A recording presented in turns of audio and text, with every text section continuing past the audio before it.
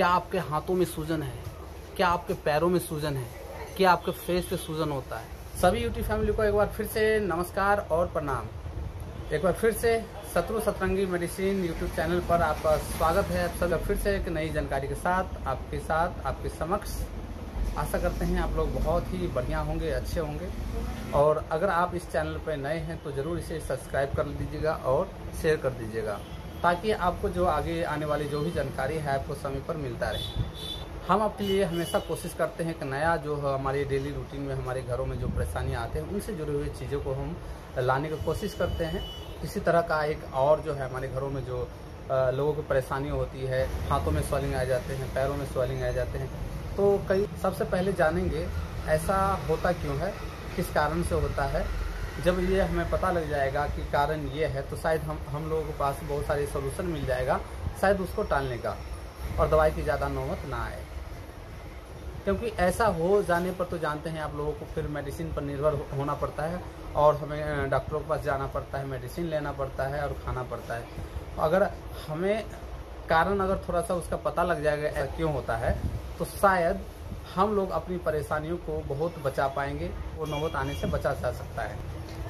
तो इसलिए आप ध्यान से बने रहिएगा वीडियो पर और ध्यान से जानिएगा, समझिएगा, ऐसा क्यों होता है। ज़्यादातर ये जो परेशानियाँ होती है हमारे शरीर में जो है पानी का जमा हो जाना, जिसको स्वेलिंग की ज़्यादातर ये परेशानियाँ होता है।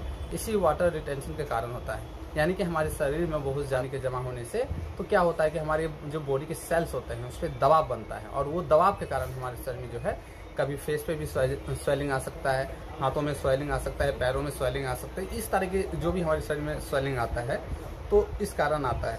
तो वाटर रिसेंटेड ना हो। कभी कभी हम लोग ऐसा काम करते हैं जिसमें हमें, हमारा शरीर ज़्यादा खुलकर एक्टिविटी नहीं कर पाता है, बैठे हो सकता है हम बैठे बैठे ज़्यादातर अपने काम में बैठे रहते हैं। इससे हमारे शरीर का जो ब्लड सर्कुलेशन है वो प्रॉपर ढंग से चलता नहीं है। तो कोशिश कर सकते हैं हमारे काम में अगर ज़्यादा डेली रूटीन में ऐसा कुछ नहीं है जिससे हमारा ब्लड सर्कुलेशन ठीक रहे या तेज़ रहे तो सुबह या शाम, जब भी हमें टाइम मिलता है, समय मिलता है थोड़ा सा थोड़ा सा घूमने का प्रयास कर रही है, दौड़ने का प्रयास कर रही है शरीर में, जिससे ताकि ब्लड सर्कुलेशन है वो प्रॉपर ढंग से उनका जो है रूटीन बना रहे हमारे शरीर में। इससे क्या होता है कि ब्लड सर्कुलेशन प्रॉपर बने रहने से क्या होता है, हमारे शरीर का ऑटोमेटिक जो बहुत सारी समस्या होता है डाइजेस्ट का, वो भी ठीक होती है। और डाइजेस्ट का समस्या अगर आपके शरीर में ठीक रहेगा तो कई सारी परेशानी तो ऐसे नहीं होगी। एक तो ये है और दूसरा ये शरीर पर भी आपका बहुत ध्यान रखना पड़ेगा फोकस करना पड़ेगा कि क्या खाए, क्या हमारे लिए सही हो सकते हैं, क्या हमारे लिए सही नहीं हो सकते जितना ज़्यादा हो सकता अगर आप सक्षम है तो ड्राई फ्रूट भी लीजिए अपने खानों में। बाकी तो आप, हरी सब्ज़ियाँ, दाल दाल, चावल, जितनी प्रकार के दालें होते हैं, सारे में प्रोटीन भरपूर होता है। कोशिश कीजिए ये सारे ज़्यादातर हमारे खानों में ऐड रहे और घर का ऐड रहे।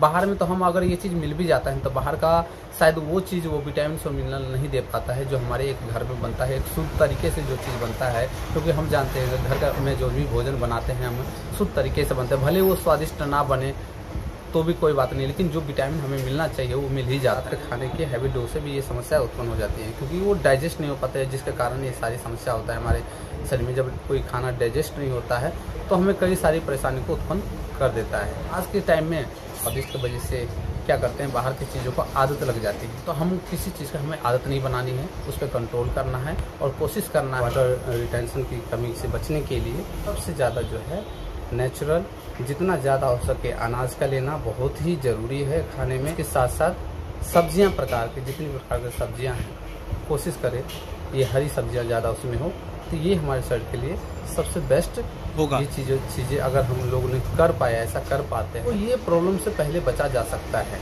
आज की वीडियो को मैं यही कहूँगा आप कोशिश करें अपनी डेली रूटीन को अच्छा बनाने का कोशिश करें हेल्दी बनाने का कोशिश करें। जब आप अपनी रूटीन को हेल्दी बना लेंगे तो सब तो काफ़ी चीज़ें आपको समस्याएँ जो है ठीक होना शुरू हो जाएगा। और इसके साथ ही जो स्वेलिंग की जो समस्या है ना उसके साथ साथ कई सारी परेशानी आपके शरीर के ठीक हो सकती है। अगर आपने आपको कन्वर्ट कर लिए हेल्दी फ़ूड खाने में। ड्राई फ्रूट लेने में अगर आप सक्षम है तो आप ड्राई फ्रूट ले सकते हैं, बादाम ले सकते हैं, काजू ले सकते हैं अखरोट ले सकते हैं। ये सारे ड्राई फ्रूट आप लेकर इस समस्याओं से निजात पा सकते हैं। इसमें खाने के रूटीन में अनाज को सबसे ज़्यादा रखना है, हरी सब्जियों को सबसे ज़्यादा रखना है। ये सब जो चीज़ें हैं, ये ज़रूरी है आपको डेली रूटीन के लिए, जिससे हमारी जो स्वेलिंग की जो समस्या है, वो दूर हो सकती है। ज़्यादा नमक खाने से भी परेशानी बढ़ती है।